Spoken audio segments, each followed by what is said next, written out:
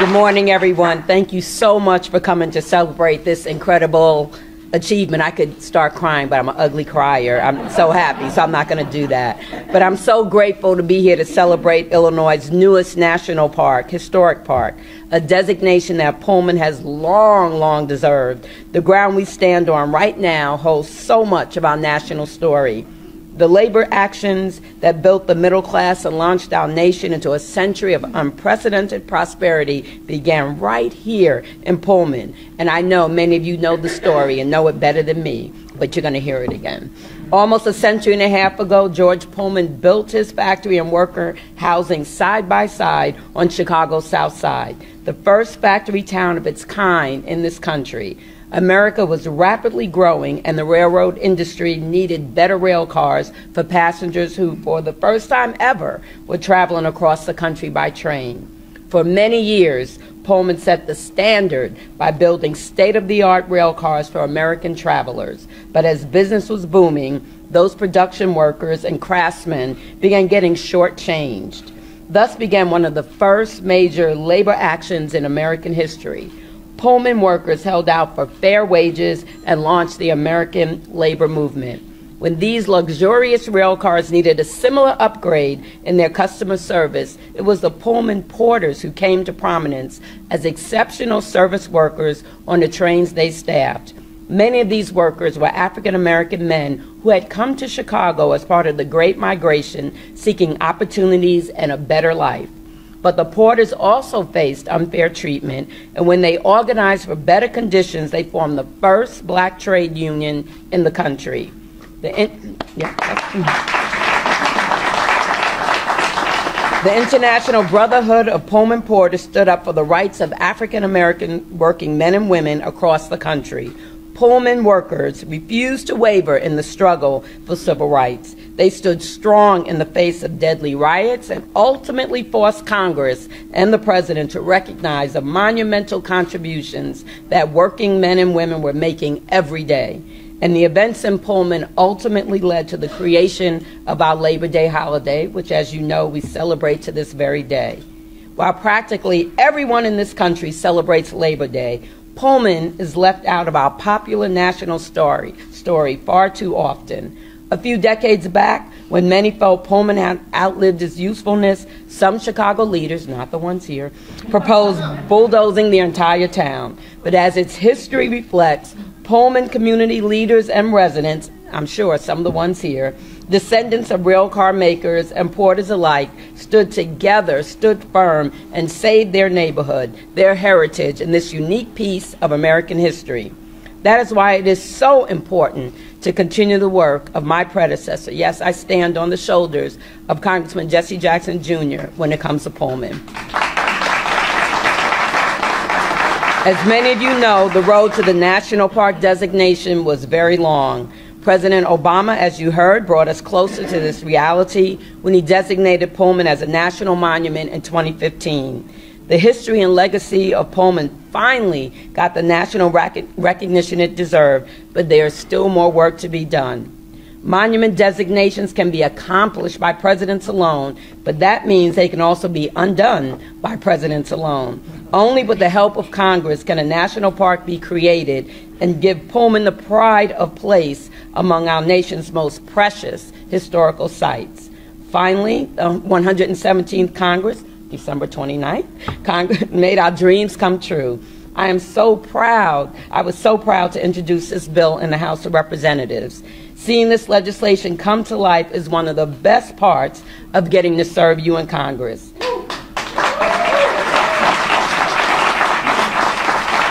This remarkable achievement was made possible only through the cooperation and collaboration of leaders from the public and private sectors and the residents of the neighborhood. We also secured $1.5 million in our community projects for the Pullman Porter Museum, and I know Lynn is here. This designation means that families from all over the country, and I will say all over the world because I know that has already happened, will come to Pullman to experience the richness of its history and the vibrancy of its community. Now more than ever, we must protect and preserve Pullman's legacy. Pullman exemplifies the rise of the middle class, the laborers that built the foundation of our country's economy for it to be included in the wealth that they created. What they built is the reason why we have the flourishing and prosperous country that we have today. But just like when the Pullman workers were first fighting for their rights, we are still struggling against forces that seek to make the richer rich richer while the rest of us get left behind. Pullman is a constant reminder of the power that we hold in our communities and that nothing is impossible when we work together for what's right. The National Historical Park designation will properly honor the historical and cultural significance of Pullman so that generations to come can learn its important lessons. There are too many community members who helped make this a reality to name individually, but I'm so grateful to each and every one of them for their hard work and dedication that made Pullman a national landmark. But I am going to take a point of personal privilege and thank you, Mike, so much for all of your work. You were relentless. You were relentless. And Mrs. Pullman, thank you so, so very much for everything you've done. Finally, I want to personally thank everyone in this room because everyone here has made meaningful and substantial contributions to Pullman National Park. And last but not least, I want to thank my hardworking staff and especially Rick Bryant. When I came to office almost 10 years ago, he said right away that we should continue this work and make this national park happen. Rick, it happened.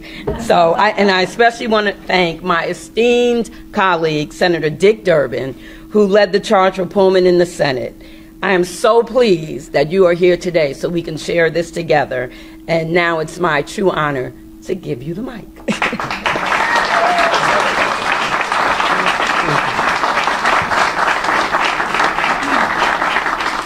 Well, this is a great morning to celebrate good news. I'm happy to be part of it, and a whole lot of people worked long and hard, as Robin just noted, to make it a reality. Particular thanks to the Historic Pullman Foundation, the National Park Conservation Association, Chicago Neighborhood Initiative for their invaluable effort to preserve this important part of Chicago's and America's history. Mayor Lightfoot, thank you. You've been a strong supporter during this term in office, and I thank you so much for all the support that you've given to this effort. In the Senate, uh, my colleague Tammy Duckworth and I shared the billing for anything that uh, headed our way. Uh, we worked on it together and we're committed to it. But I have to tell you that the real driving force in Congress to save Pullman is this woman right here, Congresswoman Robin Kelly.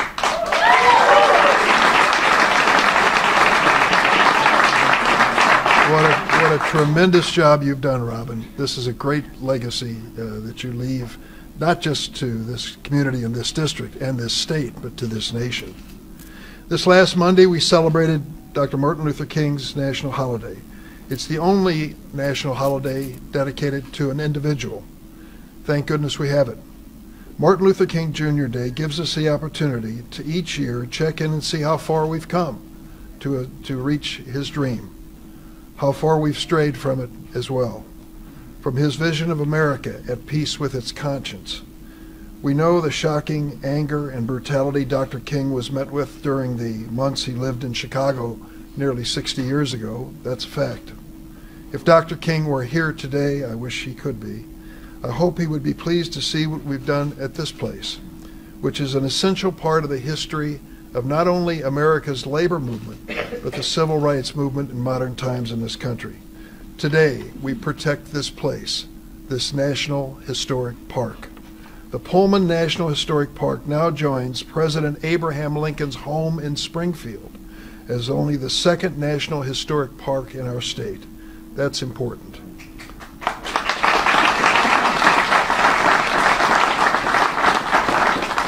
I think Robin Kelly has noted this, but I want to repeat it. It makes a difference between being a National Historic Monument and being a National Historic Park. As, we, as we've noted, presidents can designate monuments and undesignate them, or at least try to. And we're in court battling a previous president in some of the efforts he made to eliminate, for example, Bears Ears National Monument, which was uh, designated by President Obama. The other president decided put it away and end it, and we're fighting him in court over it. But today, at this place, we move from National Monument and all the controversy associated with it to National Historic Park. And it means that anybody who wants to get their hands on Pullman has to come through Robin Kelly and Durbin and Duckworth and the U.S. Constitution. The timing of this couldn't be better at this moment in history. We all hope that the election and reelection of America's first black president, Barack Obama, and the grace and dignity of Michelle Obama, which she brought to her role as First Lady, would be a turning point in America. I remember that inauguration, that cold, cold day in Washington. I'm sure you do too. And I watched as our Barack Obama reached out and put his hand to take the oath of office on the Bible of Abraham Lincoln. And I thought to myself, Durbin, at this moment in your life, you've come full circle from your college days in the civil rights movement to a black president, taking the oath of office on Abraham Lincoln's Bible. I thought America would change for the better, and in many ways it did. But we also know that some other things happened. We know as well that we experienced a change in America on the negative side. And we see today in states where the truth about slavery and heroes like Sojourner Truth, Martin Luther King Jr. are being written out of state education curricula. And books by hundreds of authors, including Toni Morrison, a Nobel laureate, are being pulled from school library shelves because they speak honestly about race and sexual identity and other topics that the so called anti woke group just doesn't like. Well, we have a message to book burners and the whitewashers of history. Illinoisans are proud of the truth of history. That's why we're here today. We embrace it, we protect it, we learn from it, and that's why we celebrate it. On this ground, outside of this building, the American labor movement was born in strife and bloodshed. It was stopped, the strike was stopped by federal troops sent by President Grover Cleveland, but it did not put an end to the aspiration of the men and women who lived here. They were determined, and their determination led to a better America today and we're ready to celebrate that for generations to come. Thank you for allowing me to be part of this program with you today. And let me introduce the alderman from this ward. I always say when you're in Chicago, you never forget the alderman. Members of Congress deal with issues of war and peace. Those are important.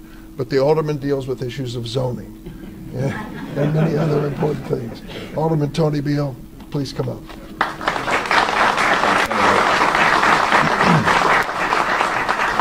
Thank you, Senator. This is another, another great day in the Ninth Ward. Am I right, Congressman?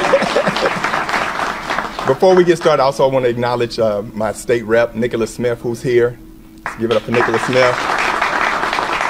If you all don't know, Nicholas Smith delivered $25 million to our community from Springfield, so we're definitely grateful to our state rep for delivering the money to our community. Uh, but we're here today to celebrate a national park. One in the city of Chicago that nobody ever thought would happen. We're excited to be here, but it would not have happened without our congressional delegation, Robin Kelly, our congresswoman, Senator Durbin, who from day one have continued to move this mantle forward to make sure that they represented the voice of this community. And the voice of this community, the Pullman community, is one like no other so if we can, just give a big round of applause for my residents here in the Roseland Pullman community for staying the course. And so when I heard Rick talk about how fast this thing moved, well, this was the first time you all came to Pullman. and so we're trendsetters.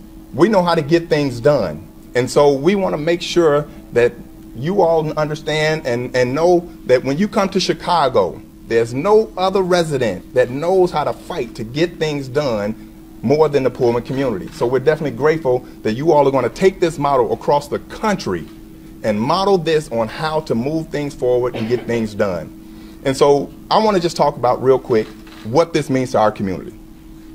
Since this designation has taken place, we have created over 2,000 jobs and we have invested over 500 million in public-private investment in our community. No other community in the city of Chicago can say that. And so what does that mean? That means that our community is growing faster than any other community. When you look at what we've done with the Walmart, when you look at what we've done with Planet Fitness, when you look what we've done with, with, with Ross, S.C. Johnson, Method, Gotham Greens, the Pullman Community Center, and our last gym, Amazon, that created 400 jobs in our community. But now we have a Culver's that has just opened up. We have Lexington Betty's that has opened up. And these are restaurants that are ran and operated by African Americans that are from our community. So we're excited and we want you all to support Lexington Betty's and Culver's because I think the mayor's going to Lexington Betty when she leaves here. So I, I think they got a plate waiting for.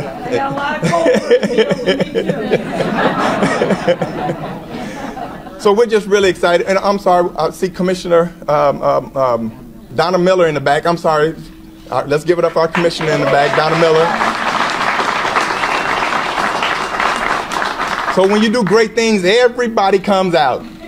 And we want to make sure that all our elected officials, when they come to our community, they understand and they know, bring the dough back to the Pullman community. So thank you all so much, and you all understand this community is on the move. It's on the. It's, we're growing by leaps and bounds, and it's a great place. And we have a hidden gem, but this hidden gem is a definite, definite tribute to the hard work of the men and women of our community. So thank you all so much. We really do appreciate you. So next I have the pleasure, I have the pleasure of bringing up our mayor, Mayor Lori Lightfoot.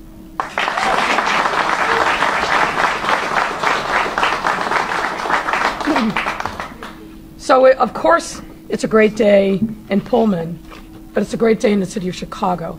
And it's really a great day in our country because this designation as a National Historic Park will redound to the benefit of our, our entire country to make sure that we continue to tell the foundational and important chapter of the labor movement and other parts of the history of our country that started right here in Pullman. So it's a fabulous opportunity uh, for us uh, to celebrate. This redesignation truly highlights how significant this community is to our city and the rest of the country. And as many of you know, and as you heard, giving Pullman the recognition it deserves is an effort that truly has been decades in the making. That recognition came first in 1970 when the Pullman Historic District was designated as a National Historic Landmark. It was then enhanced by former President Barack Obama in 2015, as you heard, who then designated the district as a national monument. But we weren't uh, content with that. You weren't content with that. So the work continued. And now, less than 10 years later, the Pullman Historic District has become a national historical park. And as you heard, and as you heard from Senator Durbin, second only to a park designated and honoring our great president, Abraham Lincoln. So we are in rarefied air, and rightly so. You heard uh, from Superintendent Gage all the people who were responsible, but I want to highlight a couple. Um, and what we must underscore is that the level of cooperation and collaboration amongst our congressional delegation is second to none. So I have to thank you publicly, Senator Durbin. I want to thank Senator Duckworth, but of course, I also want to thank our champion, our friend, uh, Congresswoman Robin Kelly. This would not have happened without you. Thank you for your tireless work. And, and, Rick Bryan, I've known you for a long time. You ought to be taking a victory lap on this day as well. Where's Rick? I know. All right. You ought to be taking a victory lap as well. I also want to thank um, Alderman Beale and the folks that are really focused on economic development down here in the Ninth Ward. Pullman is critically important, and I'm going to talk about Roseland, which is also equally important in my mind. But thank you, Alderman Beale, for all that you've done. Thank you, David Doig. Uh, thank you, all the folks at CNA who, CNI who really understand that investing in communities is a catalyst. It's a way that we grow the, the middle class. It's a way that we right a lot of historic wrongs, and it's a, a way in which we bring safety and peace to communities. I said this also to uh, the class that's here um, training uh, to understand how they can help and impact um, not only here uh, at this uh, historic uh, national park, but the entire community and the communities in which they live. Making sure that we've got a pipeline of talent, particularly in the trades. Make sure that we are building the middle class. That means that we are building wealth in communities that's going to pass down and redound to the benefit of the individuals, their families, and their communities, and our entire city. That's critically important. So, congratulations again to all those. To, congratulations to the teachers, but importantly, congratulate, uh, congratulations to the apprentices that are a part of this as well.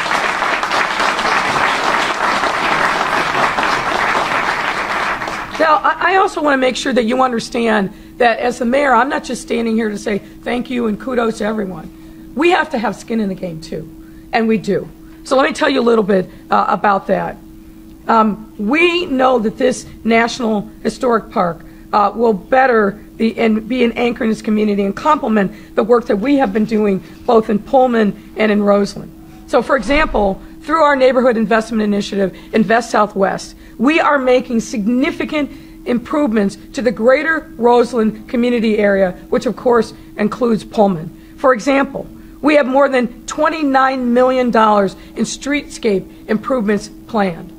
And Choose Chicago is already at work to make sure that this national park is going to be part of the um, marketing campaign for Chicago to get tourists and visitors to come and spend a little money in Pullman.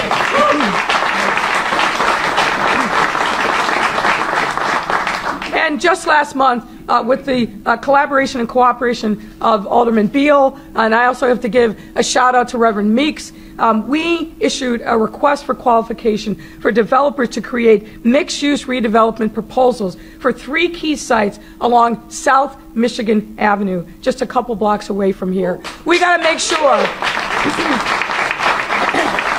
We have to make sure that South Michigan Avenue of Roseland is just as vital and thriving as the north side Michigan Avenue, and it's coming. It's coming. This effort will transform over 4.3 acres of city land and former historic sites into housing, retail, and other amenities aimed at improving residents' quality of life and attracting visitors to Pullman and to Roseland.